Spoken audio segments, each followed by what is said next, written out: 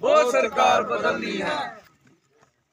जो सरकार सरकार जमीने छीने। वो सरकार ज़मीन सरकारी है। वो ज़मीन हमारी है। जो ज़मीन सरकारी है। वो ज़मीन हमारी है। जो सरकार निकम्मी है। वो सरकार बदलनी है। जो सरकार निकम्मी है। वो सरकार बदलनी है। जो सरकार निकम्मी है। वो सरकार बदलनी है। जो सरकार बदलनी है। वो सरकार निकम्मी है जो सरकार निकम्मी है वो सरकार बदलनी है तख्त बदल दो ताज बदल दो बेईमानों का राज बदल दो ਅੱਗ ਬੜੀ ਲੱਗਦੀ ਹੋਣੀ ਇਹ ਦਿਖਦੇ ਨਾ ਇਹ ਪਿੱਠਾ ਰਹਿੰਦੇ ਵੀ ਲਾਲ ਸਿੰਘ ਪਿਆ ਔਰ ਪੁੱਤਰੋ ਤੁਹਾਨੂੰ ਨਾਨੀ ਚੇਤਾ ਕਰਾਣੀ ਅਸਾਂ ਅਸਾਂ ਇਹ ਸਾਨੂੰ ਲੋਕੀ ਜੀ ਸੋਦੀ ਇੰਜਣ ਨੇ ਹੈ ਇਹ ਦਿਖਦੇ ਨਾ ਇਹ ਇੰਜਣ ਨੇ और ਤੁਸੀਂ कखड़ी कठोए दी और जो तकलीफें बढ़ रही हैं उसको कैसे रोका जा सकता है जैसे जमीनों के मसले हैं मकानों के मसले हैं सरकारी ज़मीन की बात की जा रही है टैक्सेस की बात की जा रही है।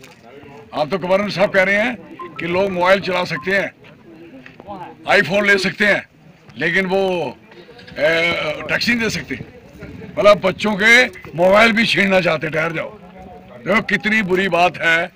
His excellency honourable L G साहब आज अभी वो देखो चल रहा है। उन्होंने कहा कि ये स्मार्टफ़ोन लेते हो।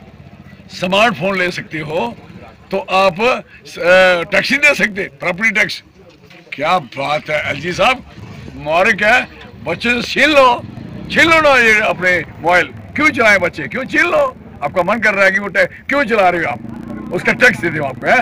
आप कहते हो honourable prime minister of India कहते हैं। मोदी साहब कहते हैं। क्या कहते हैं? कहते हैं डिजिटल बनाइए कंट्री डिजिटल बना रहे हो आप। आप मोबाइल छीनने की बात कर रहे हो ना? कि मोबाइल नहीं चलाओ टैक्स दे दो। आप it it mean honourable prime minister of India जो कह रहे हैं, आप उसके खिलाफ बात कर रहे हो ना? है? इसका मतलब आपका आपका तालमेल है या नहीं है? ये फसला कर लो कि बड़ी आपने कहा गया कि ये मोबाइल स्मार्टफ़ोन चला सकते हो और आप टैक्स नहीं दे सकते हो।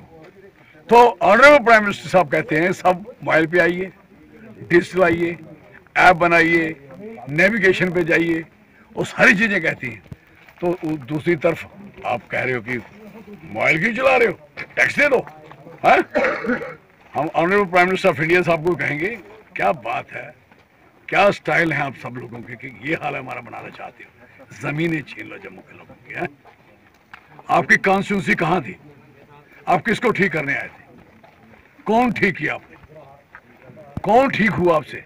आपने सब बर्बाद कर डेवलपमेंट ज़ीरो है ज़ीरो मैं बसोली घूमना मेरी कॉन्स्टिट्यूंसी है। मॉडल हॉस्पिटल था। अब ज़ीरो पे खड़ा है। कोई डॉक्टर वाक्टर नहीं नथिंग हायर सेकेंडरी स्कूल थे। ज़ीरो पे खड़े हैं। नो स्टाफ आपके दो डिग्री कॉलेज हैं यहाँ। दोनों की हालत खस्ता है। जाओ देखो उसको। क्या पोजीशन है? गाड़ियाँ खड़ी हैं। जो हमने वहाँ दी थी। दो ड्राइवर नहीं रख पाया आप। दिस अ पोजीशन आपने सारा कुछ नुकसान के स्वागत जहाँ स्टीमर खड़े हैं। वो सड़ रहे हैं। इतनी बड़ी बिल्डिंगें बनी हैं, सारी कचरा हो गई है। तो कहने का मकसद है कि हो क्या रहा है? टूरिज़्म डेवलपमेंट अथॉरिटी बनी, बसोली, सरथल, क्या पोजिशन है इसकी? सारी बिल्डिंगें बनी तबाह बर्बाद है। धारमानपुर की बिल्डिंगों का हाल था? जो कॉटेज बनाए थे चार। क्या हाल है उनका?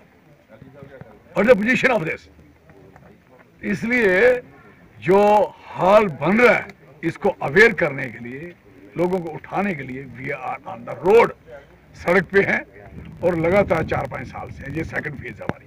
सर जैसे आए दिनों हम देख रहे हैं कि जो हमारे बीजेपी के स्टेट अध्यक्ष हैं यूटी के रविंदर रैना जी वो लगातार यही कहते हैं कि जी एलजी हमारा नहीं है। जो भी क्राइसिस हो रहे हैं या लोगों में इनकन्वीनियंस हो रही है तो ये जी हमारा काम नहीं है ये जी एलजी नहीं है हमारा। वो क्या कहेंगे? वो ऑनरेबल एलजी साहब के खिलाफ जुलूस निकाले ना।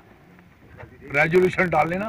लेकिन सर एलजी जो U T directly governed by केंद्र सरकार। ना ना ये अगर वो धोखा है तो जुलूस निकाल देने खिलाफ। अगर वो कहते हमारा नहीं है और आपका नहीं है ये तो पढ़ा लिखा बंदा जानता है कि ये लोग किसने लगाया। आम जनता को तो बेवकूफ़ पढ़ाने की बात है ना। आम जनता को तो कहा जा सकता है ना कि एलजी हमारा नहीं है। तो बेशक L G appointed by government of India तो गवर्नमेंट ऑफ़ इंडिया किसके पास है? सरकार किसके पास है?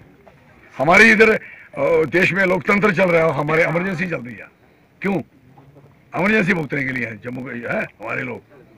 तो कहने का मकसद है कि हर लिहाज से इन्होंने हमें बर्बाद कर दिया है। सर सिलेक्टिव चल रहा है जैसे आए दिनों हम देख रहे हैं जैसे इंक्रोचमेंट ड्राइव हो कोई या कोई भी जो कोई- कोई अथॉरिटेरियन कोई- regime है उसके खिलाफ कोई कानून कोई- या एडमिनिस्ट्रेशन काम नहीं कर रही है। सुनो मेरी बात।